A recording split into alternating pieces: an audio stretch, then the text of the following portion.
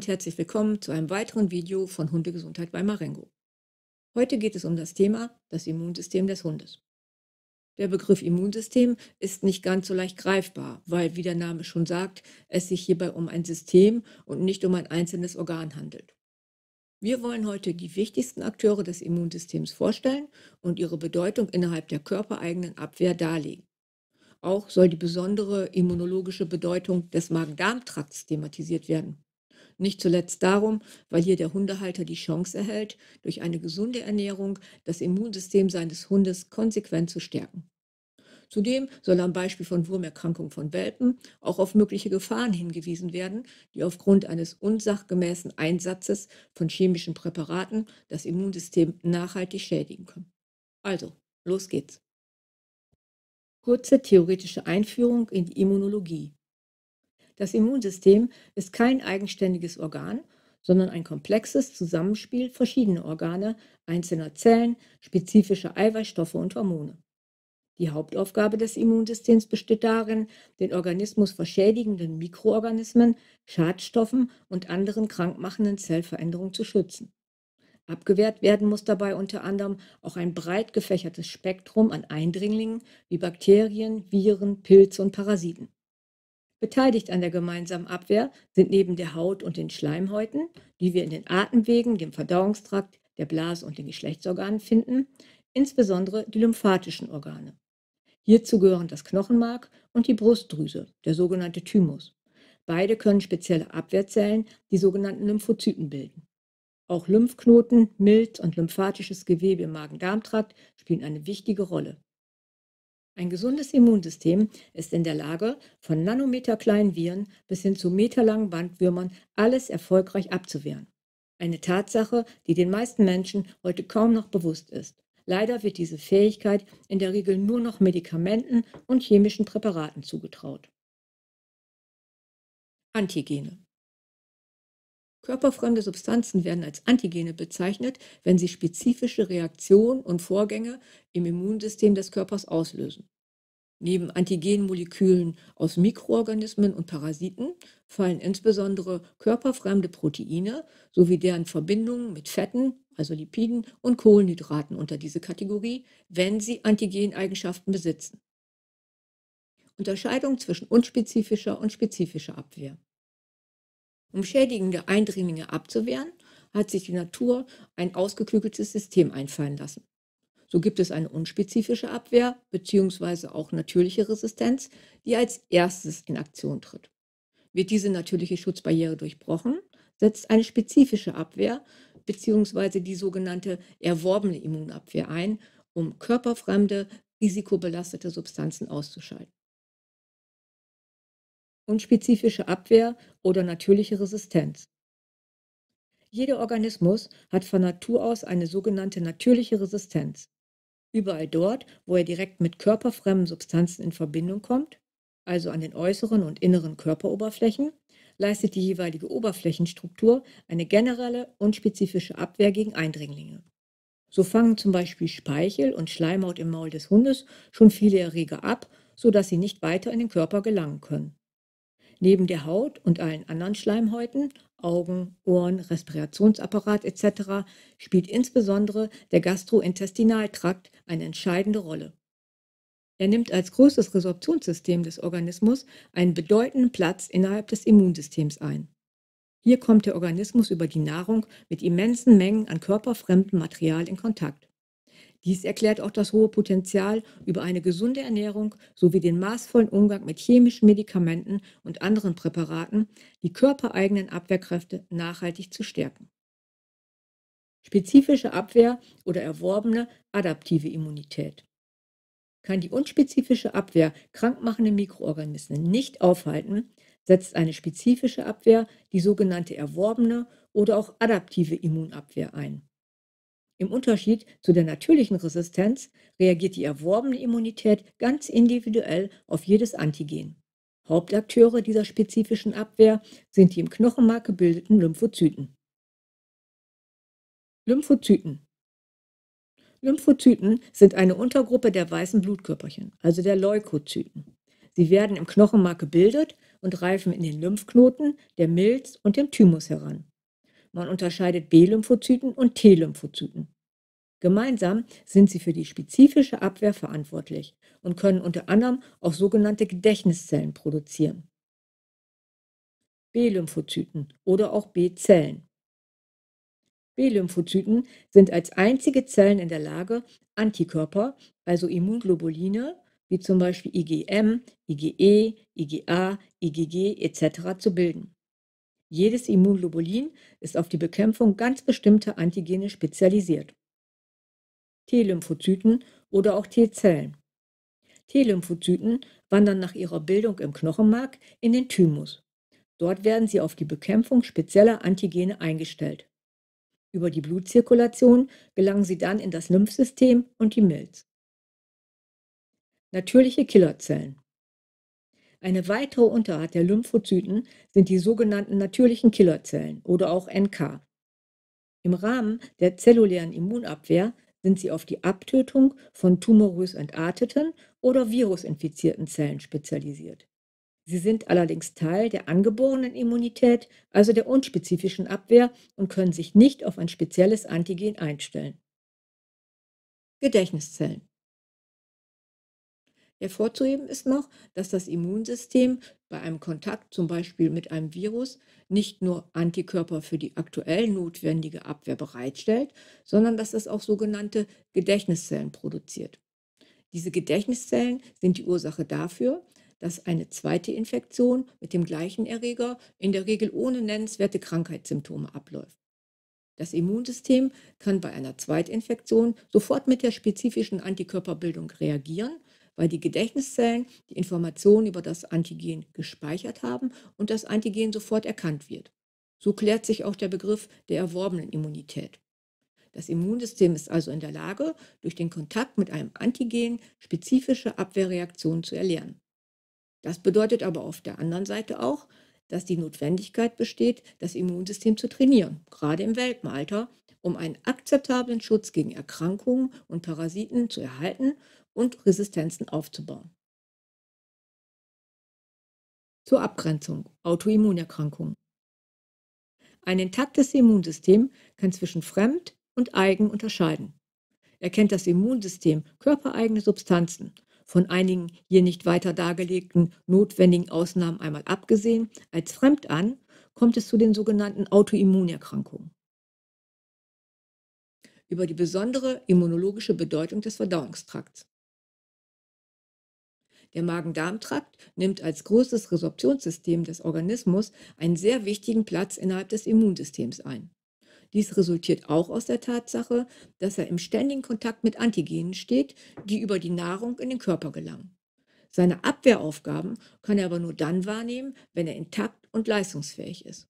Nur so kann er das Eindringen potenziell krankmachender Mikroorganismen und anderer Fremdsubstanzen effektiv verhindern. Hierzu bedient er sich sowohl spezifischer als auch unspezifischer Abwehrmechanismen. Diese wollen wir im Folgenden näher beleuchten. Die unspezifische Abwehr des Magen-Darm-Traktes. Verschiedene unspezifische Abwehrmechanismen stehen dem Magen-Darm-Trakt zur Verfügung, um Eindringlinge abzuwehren, ohne eine genaue Unterscheidung zu machen, um welches Antigen es sich gerade handelt. pH-Wert des Magens. Der niedrige pH-Wert im Magen gewährt in der Regel einen relativ sterilen oberen Dünndarmbereich, da die im Magen enthaltene Säure einen Großteil an Keimen ohne Probleme abtötet. Zusätzlich sorgen die vorhandenen eiweißzerlegenden Enzyme für eine Reduzierung der Proteine, die unter Umständen als Antigen bzw. Allergen wirksam werden können. Diese Einleitung der Eiweißverdauung wird unter Einfluss von Darm und Bauchspeicheldrüse fortgesetzt. Peristaltik.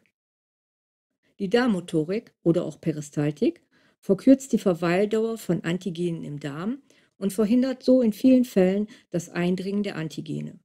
Leidet der Hund zum Beispiel häufiger unter Verstopfung, kann das Risiko, krank zu werden, aus diesem Grund auch erhöht sein. Epithelzellen. Ein kontinuierlich verbundenes System mit Epithelzellen stellt eine weitere Barriere für Antigene dar. Neben Muskel-, Nerven- und Bindegewebe gehört das Epithelgewebe zu den vier Hauptgruppen von Gewebestrukturen des Körpers. Obwohl die Darmepithelzellen keine Immunzellen sind, sind sie aktiv an der Abwehr beteiligt. Nach neuesten Erkenntnissen bilden sie nicht nur antimikrobielle Peptide, sondern schaffen einen verdichteten Zellverbund, der Antigene effektiv daran hindert, die Darmwand zu durchdringen. Schleim. Der Schleim dient als Gleitmittel und Oberflächenschutz. Bakterien, Pilze, Viren und andere Antigene werden durch den Schleim gebunden. So wird das Anhaften dieser Fremdsubstanzen erschwert oder verhindert. Bei Irritationen reagiert der Körper mit vermehrter Schleimproduktion, um Fremdsubstanzen schneller abzustoßen. Breiiger Kot oder leichter Durchfall können darum auch Symptom einer gesunden Abwehrreaktion sein. Mikroflora des Dickdarms. Der Dickdarmbereich eines Hundes ist mit einer auf den Körper abgestimmten Mikroflora, dem sogenannten Mikrobiom, ausgestattet. Diese Mikroflora verhindert das Anhaften und Einnisten schädigender Keime, die zu einer Destabilisierung der Schleimhautfunktion führen. Ein direkter Angriff auf das Immunsystem kann so verhindert werden. Die Zusammensetzung der Mikroflora hängt neben der individuellen genetischen Konstitution maßgeblich von der Ernährung des Hundes ab. Zudem bildet die Darmflora die Basis für die gesamte mikrobielle Verdauung. Insbesondere die Aufnahme und Synthese von bestimmten Vitaminen, die Zerlegung von Nahrungsbausteinen und deren Resorption sind nur bei einer breit angelegten Mikroflora möglich. Verarmung der Darmflora, sowohl durch einseitig zusammengesetzte Futtermittel als auch durch chemische Präparate aller Art, verhindern die ausreichende Zufuhr mit essentiellen Nährstoffen. Darüber hinaus kann es zu einer Vorwanderung von Keimen in den Dünndarm kommen, was Verdauungsstörungen wie zum Beispiel Fehlgärung nach sich zieht. Die spezifische Abwehr des Magen-Darm-Traktes. Im Zusammenhang mit der spezifischen Abwehr des Darms spielt das sogenannte lymphatische Gewebe eine wichtige Rolle. Es kommt nicht nur in Lymphknoten und Organen vor, sondern auch an vielen Stellen der Schleimhäute, entweder in Form einzelner oder zusammengeschlossener Verbände, sogenannte Follikel. Im lymphatischen Gewebe sind Lymphozyten eingelagert, die bekanntermaßen die Hauptakteure in der spezifischen Abwehr sind. Im Darmbereich unterscheidet man das MALT, das schleimhautassoziierte lymphatische Gewebe, und das GALT, das darmassoziierte lymphatische Gewebe. Beide gewährleisten die Funktionsfähigkeit der Schleimhäute und sind tragend für die spezifische Abwehr. Da ca. 70 bis 80 Prozent aller Zellen, die Antikörper bilden, ihren Sitz im Darm haben, hat der Magen-Darm-Trakt eine entscheidende Bedeutung für die gesamten Abwehrkräfte und somit für den Gesundheitszustand des Organismus. Beispiel chemische Wurmkuren im Welpenalter. Chemische Wurmkuren zielen darauf ab, Würmer im Darm abzutöten bzw. abzutreiben. Um Endoparasiten, die bekanntlich sehr widerstandsfähig sind, erfolgreich zu bekämpfen, bedarf es starker chemischer Gifte, die natürlich auch für den Hund eine Stoffwechsel- und Darmschleimhautbelastung darstellen. Dies um ein Vielfaches mehr, wenn es Saugwelpen betrifft, deren Immunsystem noch nicht vorhanden ist und sich erst noch ausbilden muss. Die mittlerweile von fast allen Rasseverbänden zwingend vorgeschriebene wöchentliche Entwurmung der Welpen, inklusive des gesamten Zwingers, ist deshalb als kritisch zu bewerten. Bei wöchentlicher Abtötung großer Teile der Mikroflora des Darms in Verbindung mit der erheblichen Überflutung des Stoffwechsels mit chemischen Substanzen kann sich kein abwehrkräftiges Immunsystem entwickeln. Mit chemischen Wurmkuren eine künstliche Sterilität im Darm der Welpen erzeugen zu wollen, ist nicht nur unmöglich, sondern auch aus immunologischer Sicht widersinnig. Benötigt der Organismus doch den Kontakt mit Wurmeiern und Würmern, um überhaupt eine natürliche Abwehr zu erlernen. Studien von Dr. Felix Sommer und Dr. Philipp Rosenstiel der Uni Kiel belegen, dass es bei jungen Säugetieren nur ein ganz begrenztes Zeitfenster gibt, in dem sich ein abwehrstarkes Immunsystem ausbilden kann. Verhindert man in dieser Zeit den Aufbau einer gesunden Mikroflora und damit des Schleimhautimmunsystems des Darms, so kann dies nicht nur eine lebenslange Anfälligkeit für Erkrankungen aller Art nach sich ziehen, solche Maßnahmen können Hunde durchaus chronisch krank machen und ihre Lebenserwartung deutlich senken. Es geht hier nicht um die generelle Verteufelung von chemischen Wurmkuren. Aber Wurmbefall ist auch laut konventioneller Schulmedizin eine Erkrankung, die einer Diagnose bedarf. Chemische Wurmkuren wirken auch nicht prophylaktisch. Darum ist eine Entwurmung nur angezeigt, wenn ein Wurmbefall eindeutig nachgewiesen wurde. Kotuntersuchungen, gesammelt über drei Tage, geben einen realistischen Eindruck, ob ein Wurmbefall vorliegt, der bekämpft werden muss. Liegt ein behandlungswürdiger Wurmbefall vor, können die chemischen Substanzen hier ansetzen. So wird ein großer Teil der Wirkstoffe verbraucht und die Belastung des Organismus durch die enthaltenen Toxine hält sich im Rahmen. Bei pauschalen Entwurmungen hingegen besteht ein hohes Risiko, dass aufgrund des fehlenden Wurmbefalls die volle Wucht der chemischen Substanzen vom Immunsystem aufgefangen und verarbeitet werden muss. Natürliche Resistenz gegen Endoparasiten. Nicht nur der Immunologie ist hinlänglich bekannt, dass ein gesundes Immunsystem im Rahmen der Antigenbekämpfung genügend Abwehrmechanismen sowohl gegen Würmer als auch gegen die gefürchteten Larven im Blut hat. Wie sollte sich ansonsten, obwohl die Spezies Wolf jahrtausendelang erfolgreich gegen die Ausrottung durch Würmer gewehrt haben? Zusammenfassung. Die wichtige Bedeutung des Darms und seines lymphatischen Gewebes, sowohl innerhalb der unspezifischen als auch der spezifischen Abwehr für den gesamten Organismus, ist unbestritten. Es ist daher wichtig, die Funktionsfähigkeit des Verdauungstraktes sowie eine breit gefächerte Mikroflora des Darms zu fördern und zu erhalten. Aufgaben, die in der Regel der Ernährung und einer maßvoll bedachten medizinischen Versorgung zukommen inwieweit man in der Praxis auch immunsystemschwächende Faktoren vermeiden kann und was für den Aufbau eines abwehrstarken Immunsystems förderlich ist, das könnt ihr gerne auf unseren Websites unter www.marengo.de, www.tiergesundheit.net und www.cura-naturales.de nachlesen. Ich hoffe, es war interessant für euch und ich konnte euch einen kleinen Einblick in das Immunsystem des Hundes geben. Dann tschüss und bis zum nächsten Mal.